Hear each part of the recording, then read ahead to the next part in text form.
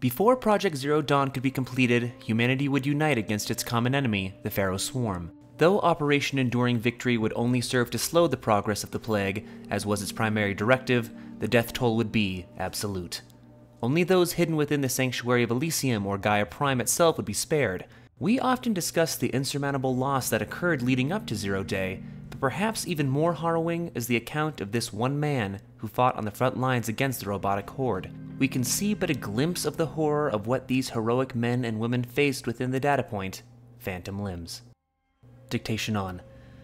My legs hurt. I keep reaching down to rub them, but of course, they're not there. I tell you, it's one thing to hear about ghost limbs, another to be haunted by them. Moment my hand passes into the empty space, I'm back in Bridgewater, and that nano haze is stripping my legs layer by layer as the squad's medbot drags me out of the line of fire, and I start screaming like I was there, in two places at once. Two halves, but one of them is gone, forever. Dissolved. And through the wall of the infirmary, I can hear them cheering, cheering the MRB for saving our asses, covering our evac back there, crediting them with NYC still standing after a week. Do they even hear when I start screaming? Sergeant says he'll have prosthetics fitted tomorrow, good as new. Both know he's lying. I'll never be good again. Most of Enduring Victory personnel were not career military, but rather volunteers from the civilian population, hurriedly trained and thrust into a conflict they never wholly understood.